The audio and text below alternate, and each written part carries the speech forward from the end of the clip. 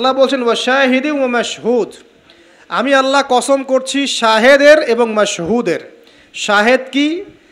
তাফসিরের কিতাবে এসেছে, শাহেদ মানে হচ্ছে জুমার দিন। কোন দিন? জুমার দিন।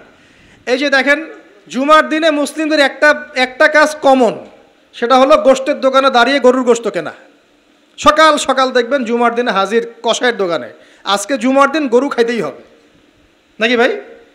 কথাটা কি ঠিক না ঠিক দেখবেন শহরের যতগুলো কষাইখানা আছে, সকাল সকাল হাজির, জুমার দিন গোস্ত খাইতে হবে। অথচ জুমার দিনটা এত ইম্পর্টেন্ট এই দিনে দোয়া কবুল হয়। যে কোনো দোয়া, আল্লাহর কাছে চাবেন, কবুল হবে। এই দিনে সুরা কাহাফ পড়তে হয়। এই দিনে তাড়াতাড়ি মসজিদে আসতে হয়। গোসল করে সুগন্ধি মেখে সুন্দর কাপড় পরে ইমামের কাছাকাছি এসে বসতে হয়। তাহলে প্রত্যেক কদমে এক বছরের রোজা, এক বছরের তাহাজুদে নেকি হয়।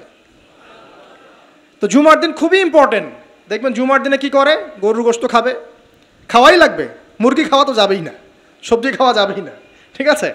তারপরে স্ত্রী, সন্তান, বউ বাচ্চাকে নিয়ে সকাল সকাল বের হয়ে চলে গেলাম। সারা বিকেল ঘুরতেছি, রাত্রে ঘুরতেছি, সন্ধ্যায় ঘুরতেছি। মানে ওই দিনটা দেখবেন গান, বাজনা, পার্টি, এই বিয়ের অনুষ্ঠান, এই জন্মদিন, এই ওরিয়েন্টেশন এই অমুক তমুক, সব জুমার দিনে। অথচ জুমার দিনটাকে আল্লাপাক দিয়েছেন ওয়াশাহিদ সাক্ষ্যদাতা। মানে জুমার দিন আপনাকে সাক্ষী দিবে। আপনি এই দিন কী করেছেন? জুমার দিনের কাজগুলো পড়ে নেবেন বই থেকে। আল্লাপাক তৌফিক দান করুন। আমিন। ও মাসহুদ এবং মাসহুদের কসম করছি। মাসহুদ কি? মাসহুদ মানে আরাফার দিন। কোন দিন? আরাফার এটা কোন দিন? যুব সমাজকে জিজ্ঞাসা করেন, বলতে পারবে না। আরাফার দিন কোন দিন? এখনকার তরুণ প্রজন্ম দেখেন, আরাফার দিন কোন দিন বলতে পারবে না। জিজ্ঞাসা করেন পর্যায় সারণীতে, ওই যে মৌলের নাম, হাইড্রোজেন থেকে একদম শেষ পর সব বলে দিবে। পারমাণবিক ভর, পারমাণবিক সংখ্যা সব বলে দিবে। ফিজিক্সের প্রশ্নগুলো জিজ্ঞাসা করেন, সব বলে দিবে। যে হায়ার ম্যাথ আছে, হায়ার ম্যাথের প্রশ্ন বলে দিবে। বায়োলজির যে কঠিন কঠিন বৈজ্ঞানিক নামগুলো আছে না, ব্যাঙের বৈজ্ঞানিক নাম, অমুকের, তমুকের মানুষ সব বলে দিবে। বলেন মাসুদ কাকে বলে? ও শাহিদি ও মা মাসুদ আয়াতটা শুনেছো কখনো? বলবে, শুনি নাই। তো এই হলো অবস্থা, শিক্ষা সিস্টেমের এই হলো অবস্থা। কেউ কি বলেছে যে ডাক্তার হওয়া যাবে না, ইঞ্জিনিয়ার হওয়া যাবে না, বা জেনারেল লাইনে পড়া যাবে না, এমনটা কি কেউ বলেছে?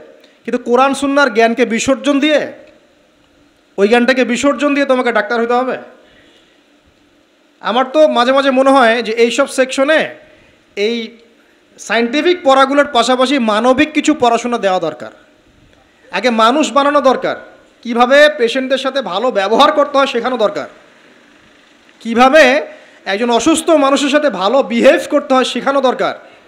খালি কীভাবে ইঞ্জেকশন পুশ করতে হয় আর কীভাবে ওষুধ দিতে হয়, এটুক শেখানো যথেষ্ট না।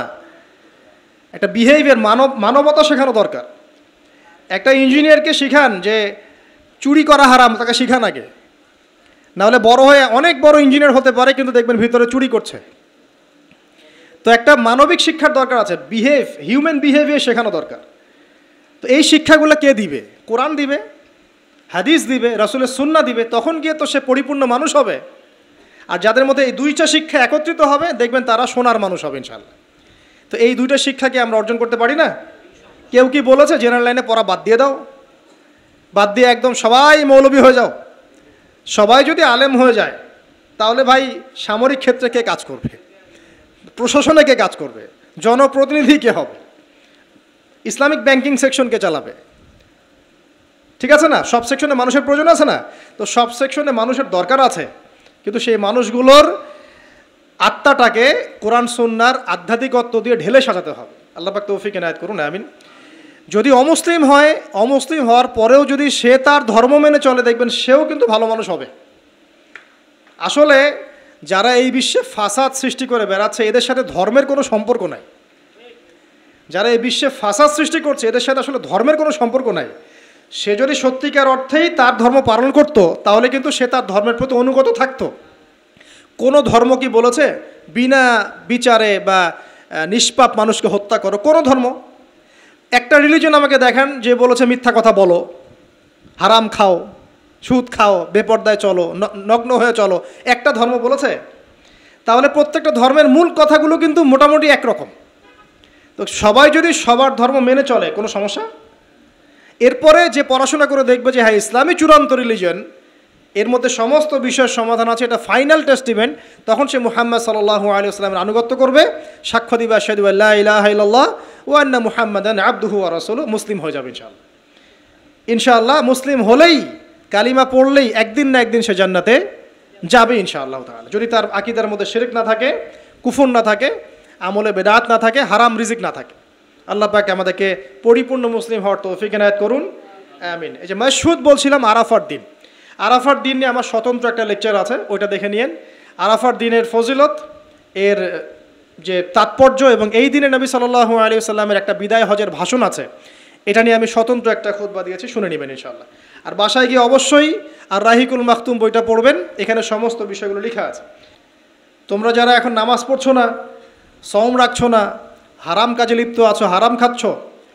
এবং জেনায় পর্ণে মাদকে লিপ্ত আছো, অহেতুক সময় নষ্ট করছ, দিনের কোনো ফিকির নাই। আল্লাপাক কিন্তু সব কিছু দেখছেন আল্লাপাক কিন্তু সব কিছু শুনছেন। আল্লাহ রবুল্লা আলমীর সুযোগ দিচ্ছেন, সময় দিচ্ছেন, তাই বলে কিন্তু আল্লাপাক ছেড়ে দিবেন না কখনো। আল্লাহ রবুল্লা আলমিন কিন্তু পুঙ্খানুপুঙ্খ হিসাব নেবেন, এটাই বলছেন, ইন্না বাতশা রব্বিকা শাদিদ আল্লাহ পাকের শাস্তি কিন্তু বড়ই কঠিন। আল্লাহ পাক আমাদের সবাইকে তার শাস্তি থেকে হেফাজত করুন, আমিন। একটা এক্সাম্পল দিচ্ছি খালি জাস্ট আবু তলেব, নাম শুনেছেন? কে ছিল? রাসুসাল্লাহ চাচা। দীর্ঘদিন, বছরের পর বছর তিনি নবী সাল্লাহ আলী হাসালামকে সাপোর্ট করেছেন।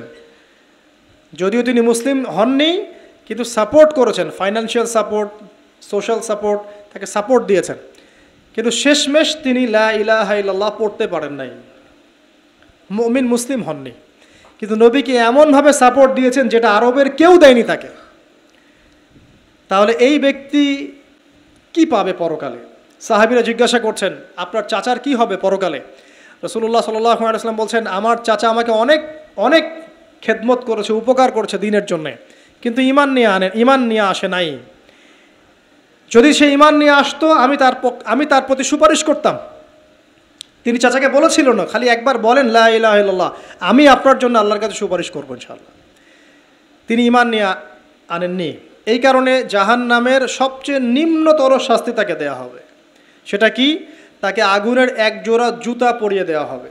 আগুনের এক জোড়া জুতা। এই আগুনের এক জোড়া জুতাতেই নাউজুবিল্লা তার মাথার যে মগজ, এই মগজটা টকবক করে ফুটতে থাকবে। ইন্না বাদশা রব্বিকেলা শাদিদ কীভাবে বুঝাবো? এটা হলো আবু তলেবের ব্যাপার।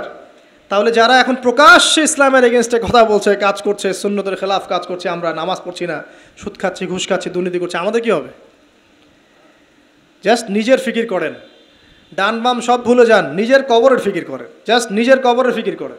যে আপনি আমি কবরে গেলে কি করব এই ফিকির করেন? দেখবেন নিজে ভালো হলে সব ভালো হয়ে যাবে ইনশাআল্লাহ। নিজে ভালো হবে না, কিছুই ভালো হবে না।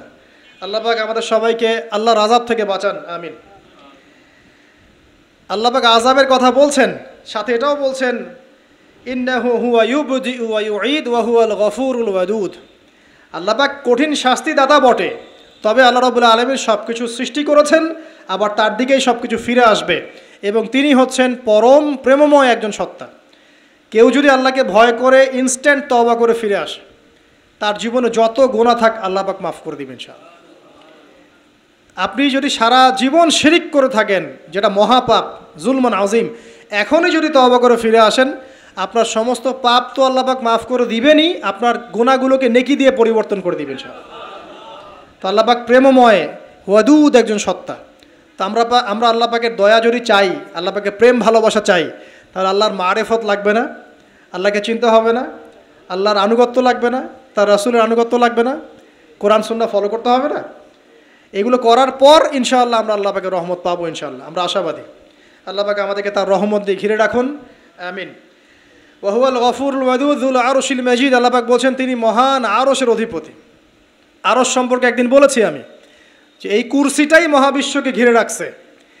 আর এই কুরসিটা আরসের তুলনায় এমন যে একটা মরুভূমিতে একটা ঢাল ফেলে দেন, একটা মরুভূমির মধ্যে একটা থালাকে ফেলে দেন অনুপাতটা যেমন হবে, আরস আরস আর কুরসির অনুপাতটা এমন অনুপাতটা এমন।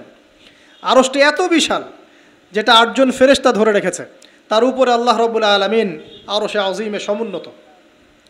তো সে আল্লাহকে চিনতে শিখুন, আল্লাহর আনুগত্য করতে শিখুন, আল্লাহ পাক তৌফিক দান করুন। ফাআলুল্লিমা ইউরিদ, আল্লাহ পাক যা ইচ্ছা তাই করতে পারেন।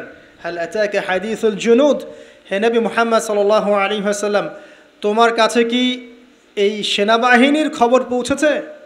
এটাকে ফেরাউন ফেরাউন আওয়া সামুদ, ফেরাউন এবং সামুদের বিশাল পরাক, পরাক্রমশালী এই ফোর্সের কথা তোমার কাছে কি পৌঁছেছে? এই আসহাবুল উখদুদের সেনাবাহিনীর কথাই বলেন। আর ওই যে ফেরাউন বা নমরুদ বা সামুদ, আজ জাতির কথাই বলেন। এরা সবাই কিন্তু আল্লাহর গজবে ধ্বংস হয়ে গিয়েছে। আল্লাহ রবুল্লা আলমিনের কাছে সবাই তুচ্ছ। সবাই তুচ্ছ। আমরা আল্লাহ রবুল্লা আলমিনের ক্ষমতার কাছে তুচ্ছ। তাই এই নশ্বর দুনিয়ায় আল্লাহর অবাধ্যতা করে উদ্ধত অহংকারী হওয়ার কোনো মানে হয়? হয় না। আল্লাহ পাক আমরা সবাইকে বিনয়ী বানিয়ে দিন, আল্লাহর প্রতি আনুগত্যশীল বানিয়ে দিন।